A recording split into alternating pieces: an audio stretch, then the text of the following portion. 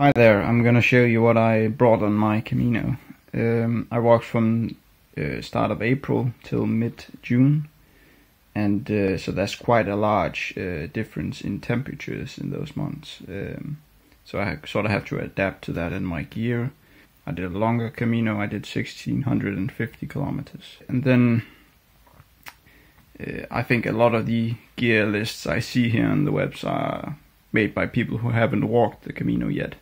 So I think I, I would just share um, some of the things I took and some of the things I think uh, people should think about when they're picking their gear. I am a firm believer in that people should take uh, the absolute minimum when they do the Camino and try to get it as light as possible. I don't uh, support the idea of um, 10% of your body mass or whatever. I think everyone should just go for the lightest they can. So um, let's start down here. And this is my, my pack. It's a Gossamer Gear uh, Kumo. And it's uh, quite different from what you see most people wearing since this is a frameless bag. Um, and all it has for a frame is this um, foam pad here. And else it's just like a nylon sack. It has a very minimal hip belt because when you are uh, carrying the weight um, that I did or um, the weight this bag can support, you don't really require much more. And some even ditch the hip belt. You can see it's it's detachable down here. Other than that, there's um, there's uh, pockets up here for your phone or snacks, trash. I usually kept trash here, and then headphones and phone over here um, and also snacks and stuff. Then there's water bottle holders. Uh, I kept my trekking poles and water bottles over here, and other water bottles over here. Uh, there's this sort of um, string here that can sort of cinch the pack down.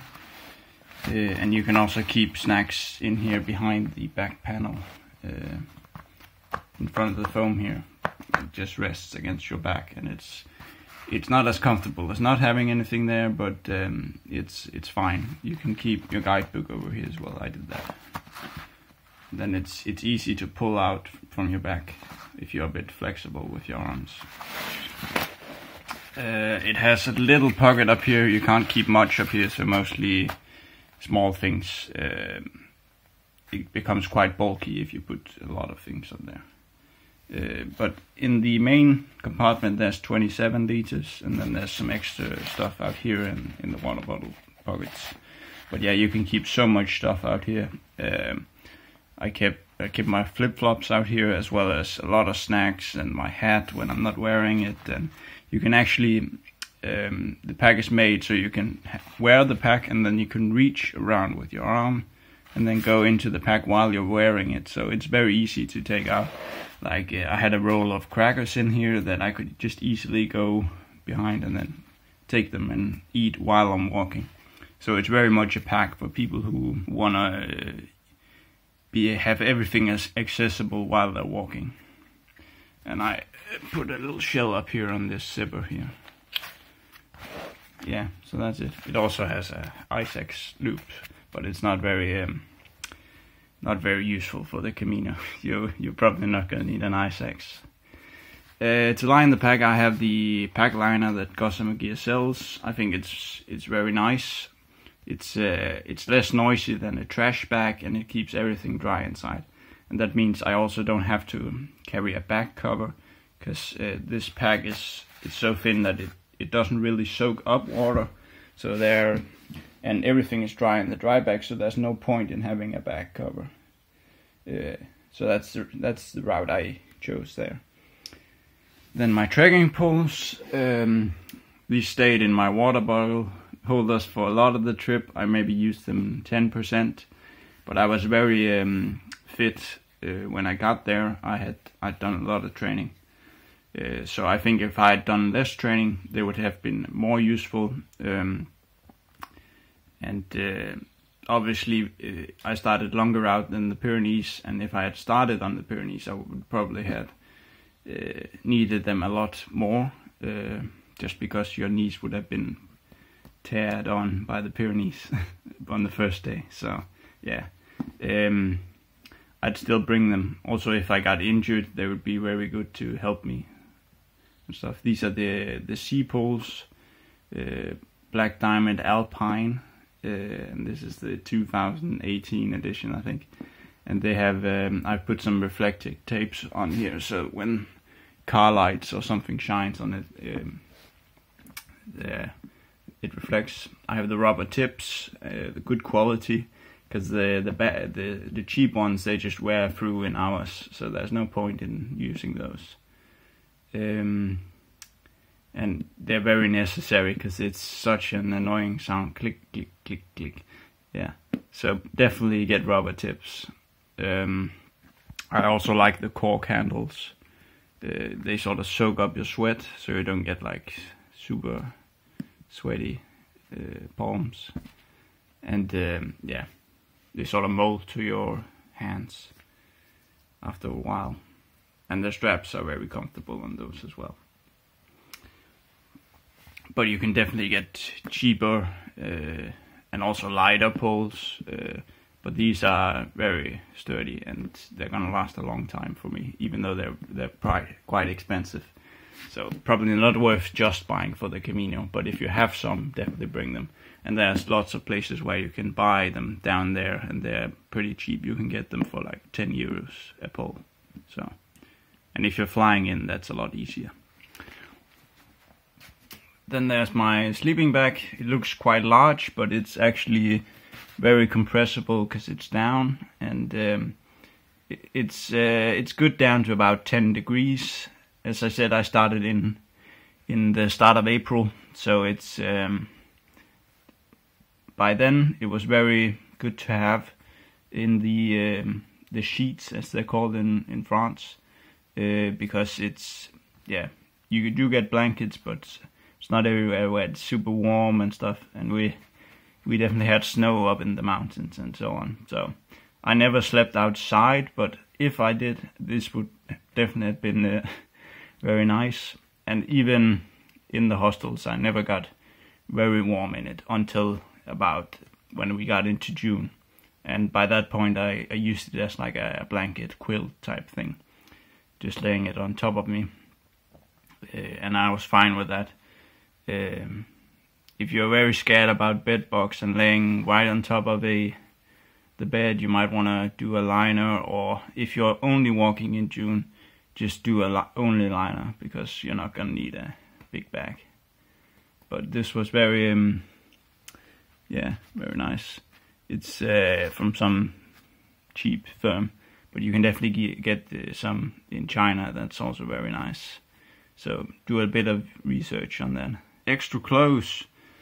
I had the Under Armour uh, original synthetic something, and they they were pretty good, uh, very stretchy and so on, uh, and no problems there with chafing or anything. Then my socks are the Darn Toughs uh, cushioned, and they're they're very nice. Um, this pair has done 800 kilometers now, and there's no holes or anything in them. And um, yeah they have a lifetime warranty on their socks. So if there's holes you can send them in apparently. Um, but yeah they they will last me a long long more time yeah. So they're very nice. And then um, merino wool t-shirt which is my my only other shirt than my hiking stuff that I'll get to later um, and it's very nice when you have sweat all day and you get you have a, a, nice shower and then you put something on that's that's not synthetic and not quick dry and then wool is very nice uh, for that. So I really like that. Um, this is from some Danish brand uh, Wolf Camber. Uh, you can get lots of others and also cheaper than this so there's no point in buying this exact model but um, definitely a merino wool t-shirt is very nice for when you get done hiking, you can put this on. And it's it's quick to put on in the showers as well as these. Uh, this is just a regular pair of running shorts. When you're in the shower, you don't want something that's very hard to put on, like uh, tight pants or something, because you're in like a little compartment there, and you want something that's just fast to put on and, you, and then go out the compartment. So um, yeah, these are just regular running pants. Uh, they have uh, pockets, which is nice. That's definitely a feature to look for. And they also have like elastic in the band and a draw cord as well. So yeah, nice. They are from FC. And then I have these fleece uh, long johns, which was very nice in April uh, as an extra layer under my hiking pants. And when we got into June and I was at O Cebreiro in Galicia, they were very nice to put under my shorts. So they were sort of, they acted as uh, my extra long pants, even though I only have these shorts as extra pants. And that worked fine, even though I was in some cold spots. But yeah, but it just means you can't wash your hiking long pants when you're in like very cold weather, which is, yeah, no one does that anyway. So, and then everything goes into like a an Osprey dry bag here, and it molds very nice, so it's it slides right into the backpack and lays on top of the sleeping bag, which is very compressible, so it doesn't uh, take up much volume. Then my flip flops, they are like China eBay uh, one pound, and they they're pretty good and light. I'll put all the weights uh, as you can see uh, in the video, yeah, they you can buy those off of eBay and they're very light, but they do sort of soak up a bit of water, so uh, you do have to wait for them to dry out before you then can wear them around uh, town or something. Yeah, but uh, so that's my only extra pair of like shoes. Then my stuff to wash clothes. I just, uh, I'm a bit of a savage here. So I only use like a hotel soap in like a Ziploc bag and then I just fill the bag with water, squish it around um, until it sort of foams up. Then I pour it into the bowl where I'm washing my clothes. And then um, that works like pretty good, but with hotel soap it's it's hard to get the smell out. So maybe go for something like that's meant for laundry. Uh, but this definitely got me by. Uh, but I probably do something else uh, all the time. Uh, toothbrush, toothpaste. These are for wiping my glasses. I had a couple more. This is just one. This is um, like Vaseline for feet and other chafing stuff. I don't really have chafing, but it's it's good for a lot of stuff. And uh, yeah, I used about half of this, so maybe I'll take a smaller thing next time. And also it can be used for lip balm or any dry spot in your face, or you can even do your hair with it. Or yeah, there's a lot of uses there. Uh, this is hand sanitizer. I took like a half a bottle or something deodorant. This is the one I took. It's not very small. You can get smaller than this, but this is the one I use at home. So I just brought that. Uh, this is uh, one I bought in Spain. I had a lot smaller one when I started, but I forgot that somewhere, and then I I bought this bit big, but uh, yeah, some shampoo. I don't carry any um, body lotion or anything. Uh, lip balm uh, ra razor because I do shave because I look horrible with my non-existent beard and then I had sunscreen I'm very um, I, I burn a lot so you'll also see that with the clothes I'm wearing it's it's um, it's to protect me from the sun and I thought a lot about how I should get through the very sunny parts and stuff but yeah definitely sunscreen and normally I just wear it in the face because it takes too long to put on in the morning if you have to do arms and feet and stuff. So I just wear long sleeves and long trousers and then only in the face. Uh, I have a little bit of string, it weighs nothing, it's good for shoelaces, emergency shoelaces or anything like that. I have some pins, there's a 11, which is, it was a fine number. Uh, I had this S-hook, which I meant to use in the showers when there weren't anything to hang stuff. But that was never really the case, so it I didn't really need it. I think I used it once to like hang my raincoat, but that's about it. So I probably wouldn't bring this next time. It's, but again, it's two grams or something like that. So it's, yeah, and it's quite sturdy. You can hang a lot of stuff with this. Earplugs, I have a couple of sets. I never lost one, so maybe maybe it's a bit much, but they weigh nothing. I have an extra button for my shirt. Uh, I have a lighter, and underneath here I have needles for blisters and stuff, and it's uh, it's they're there because they don't poke holes in my dry bags or anything like that when they're there. So they're just taped to the side here. I have some thread, uh, band, bandage, uh, yeah, bandages. Uh, this is like some anti-diarrhea stomach uh, medicine, which is fine to have. A lot of uh, a lot of people had this while I was there, um, so it's nice to carry. I never had a, a problem, but yeah, this will get me by for like 24 hours before I have to, have to find uh, a pharmacy to get some more. So I would definitely not carry a lot of this, but just so you can get to the next pharmacy. Uh, and there's pharmacies everywhere, so there's no point in carrying a lot of pills. These are Spanish ibuprofen. I didn't go through a lot of ibuprofen. I got a bit sick, so it, by then I took some, but um, yeah, I wouldn't take ibuprofen every day. There are people who do that on trail, but it's not very healthy for you. You can, you can there's all sorts of stuff with ibuprofen. So, but yeah, it's um, yeah.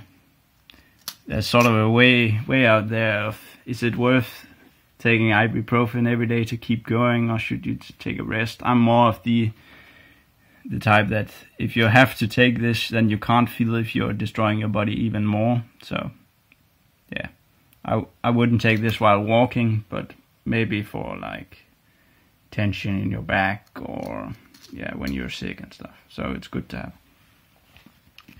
Uh, alcohol swabs for blisters and other cuts. Then I have a bit of moleskin here, mostly for like uh, like a pad, and then I usually tape it up with uh, Leukotape, um, which is a very nice tape. It's very sticky. It's it really, unless you get it wet, it stays on, and it's very nice for that.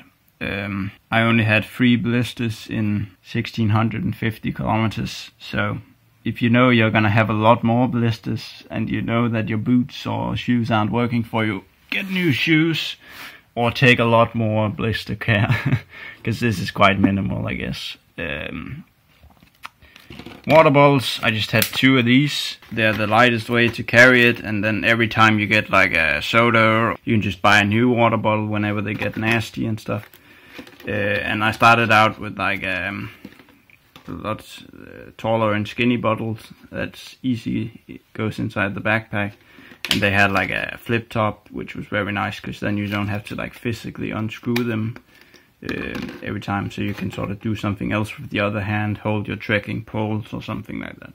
So um, I can put a picture of the bottles that I um, I did use. I also have my towel here. And um, yeah it was very nice. A bit big uh, uh, yeah I can't really show you how it is now but yeah it's uh, definitely there's no point in like a towel that can um, cover you up I never had to do that so next time I'll just take like a small cloth that I can remove most of the water with and then dry off um, in the air. This all goes into like the Ziploc bags here. And that goes all into this big Ziploc bag that then lays on top of my clothes bag. Then I wrap the towel around the Ziploc bag so it doesn't, all these like, doesn't poke me in the back since it's quite like a minimal um, foam pad that, that's a frame in my back. This is like my ditty bag. I have prescription sunglasses. I wear glasses, so they have to have some strength in them. A cloth to clean my glasses and my sunglasses. A little, this is a lightweight uh, glasses case. And I also have one for my glasses. Whenever I'm sleeping in the hostel, I can keep this in my bed and then put my glasses in there and they're easily accessible and they don't break. Um, because that would be kind of horrible. I don't carry extra glasses because, yeah, I would still be pretty like comfortable without glasses, and I can always wear my sunglasses whenever I have to see something. So there's no point in carrying extra glasses. I keep some extra Ziploc bags for like um, food and yeah, snacks and stuff and all. Yeah, keep things dry and yeah, it's good to have some. You can also cook in these, do ramen in them, and yeah. A little notebook. I never wrote a word in it, so I'm not taking that next time. If you're not someone who uh, are really like expressing themselves in the written language, there's no point because you're probably not gonna like do a journal. This is like the rock for um, Cruz de Ferro. This is of course not the one I took. I have left it there. A pen. Uh, it's nice to have a pen for dates in your credential or anything like that, or just writing in general. And I put some some gaffer tape around it here and I I have a lot I had a lot more when I started. the, so yeah, I had a, I have a couple meters there. Uh, and then this is like a reflective thing, so cars can see you. And I never used it. So if you get up really early in the morning, put like a reflective thing on your back, and then cars will see you. It's probably not worth having something you have to physically put on and off. So probably won't take that next time. And that all goes into this little sil nylon bag that weighs nothing. Toilet paper, that's good for anything of that sort. And that also goes into the bag. I have Swiss Army knife, uh, knife, scissors, that sort of stuff. It also had like the corkscrew. I never used it. So next time they have a little small one they call the Victorinox Classic, also from the Swiss Army knife brand. And that has the scissors and the um, the little tweezers here. Then there's I did bring a spoon for like yogurts and stuff, and I did use it for that, but next time I think I'll just take like a plastic one, this one, like a heavy duty plastic one that, that won't snap. This one will just bend, uh, and that's pretty bulletproof, and it probably weighs about the same. This is like a Sea to Summit Alpha Aluminum one. This is electronics, it goes into the dry bag, electronics bag. I do have a lot of bags and I could probably downsize some of them, but then again, it's about organization and having everything accessible. The bag I have, it's just one big compartment. There's not really any pockets, so it, it, it there sort of has to be some organization somewhere. I have a OnePlus 3, and with that, it, there's the dash charge, which allows it to charge fast. So I do have to carry both of those. They're a little heavy compared to other chargers, but it's worth it with the speed I get. Then I carry a little adapter here, which is USB, micro USB to USB-C. If I forgot this, um, I could still use this cable um, along with some other adapter for the power and then uh, put this on it and then I could still charge my phone uh, because it's in most shops uh, at least it used to be the problem that you couldn't really buy the USB-Cs in physical shops. You'd have to go on the webs. And also in like small villages and stuff today in Spain, you can't really find the USB-C even if you, yeah. So it's good to have a little adapter. I carry that carry that in my wallet, so it's not together with the other stuff. So also if my say my bag gets stolen, I can still charge up my phone and stuff. Yeah if I find a USB, micro USB cord. So I do carry a little one of those, and I carry some headphones. The I like these because they have like a pause and an up down. And then I carry a 10,000 milliamp battery. This brand is not particularly good, but yeah, it's fine. I I like the um, the power banks over like an extension cord or something because many times um, it doesn't really solve the issue. So I like to, whenever there's fights for the outlets, I just plug into this and this can lay in my bed and I don't have to like physically move anywhere to charge my stuff. And this gives me two and a half free charges on my phone. So that's fine. And then I can usually find an outlet to charge this on my phone.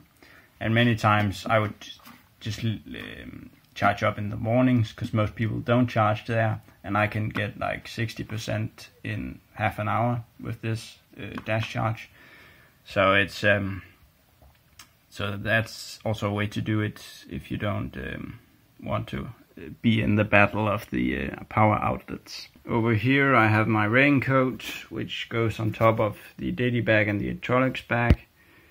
Um, and this is from Helly Hansen. It's it's quite heavy for what it is. You can definitely get uh, lighter raincoats, but yeah, I'd definitely take a lighter one next time because it's quite heavy.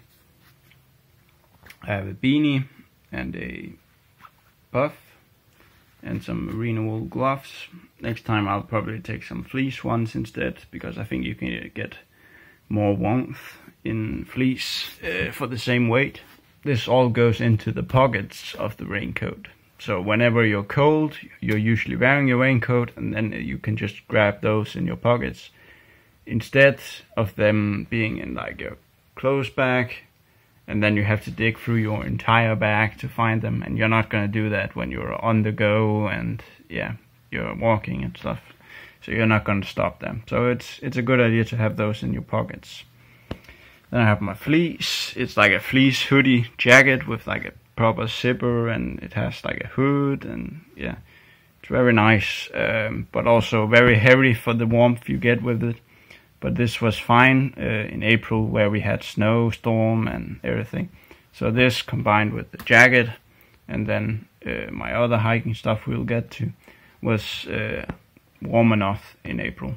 Yes, and then we move on to the worn clothes. Again, another pair of Tough socks, uh, the another pair of Under Armour. So those would change out every day, um, and wash one pair, wear another, my pants, they're the Columbia Silver Ridge, uh, which is very sun protective and stuff. And they're of course zip offs as well, and they come with like a lightweight belt, which almost works. You sort of have to tie a knot on it for it not to slip. But yeah, I do like these pants, and a lot of people use them uh, on in on the Camino, and they sell them in a lot of the stores on the Camino as well and they're like a very very thin like uh, very thin nylon like uh, yeah so these are, are good and they do make like a layer that's both good for sun and they also keep uh, like a wind out and stuff. Uh, and those combined with my long johns there they keep me very warm in april when we had like snowstorms and stuff in the mountains. Then I have my hiking shirt, Columbia Silver Ridge as well, and uh, it's the regular version, not the light version. But uh, and it has this like long collar here that covers all the way up to like your hair, so you don't get your neck burned. And it also have like long sleeves that goes down to like your knuckles, and it uh, it has all sorts of vents, so you don't like overheat and stuff. So that's very nice. Highly recommend that. Then the hats I had. This one is also from Columbia and it's um, it's not very stiff. So when it rains, this sort of goes down into your face. It has like an elastic, so it doesn't blow off your face. You can tighten it to your your head. Um, I'm not sure I would bring this again, but it was fine for sun protection. But it was not very good whenever it was raining or anything and I kind of have to wear a hat when it's raining because otherwise my glasses get uh, you can't really see out of them I guess when it's raining hard so the hat sort of helps with that but this one just sort of collapsed on me but it it, it did uh, did its job and uh, it's not bad enough to buy a new one but it's definitely not the perfect hat I, I took my wallet, of course. Uh, I usually just kept one debit card in here, and then a bit of cash, like 40 euros, and then I kept the majority of my money in here, um, along with my passport and my health card and ID cards and driver's license, and uh, I also kept my credential in here. Uh, along with my passport, because every time you come to a hostel, you have to show your pilgrim passport and your regular passport, and then of course pay them. So if you keep keep everything uh, in one Ziploc bag, it's very easy for you to, when you arrive, to just give them that and then, yeah, check in fast. Because there's nothing worse than people fumbling with um, with their stuff when when you're in that big line there and stuff. My watch, it's a Casio Classic vibrating alarm clock, and it's um, it has alarms that vibrate, so it's very good for in hostels where you want to wake up, but uh, you don't want to disturb everyone else, so it just vibrates on your wrist, and, and you usually wake up to it. Sometimes when you're very tired, you you'll just sleep through it but uh, it's pretty good for because many times you're you're already like awake because most people are not very quiet when they leave so you're already like pretty uh, uh, conscious. So this just sort of helps give you like the last okay now you have to go up because now it's it's time yeah. So this is good and it's bulletproof and it it's lighter than like most metal uh, watches my guidebook. I did the Michelin guidebook. Uh, I carried uh, two uh, two different ones. One for the French section I did, and then when I got to St. John, I bought this one for the the French way in Spain. I did the the pre-route in Spain, and I also had the list here they give you at at uh, St. John, and there's also a similar one for the uh, the Puy route uh, before that. Got you to show you my shoes here. They are the Salomon X Ultra 3 Primes with the laces. And I see them as like the perfect shoe for yeah, the type of hiking I did in Spain and France. They're very breathable and very light. That's it. That is my gear. If anyone have any questions, definitely give me a, a question in the comments and thank you for watching.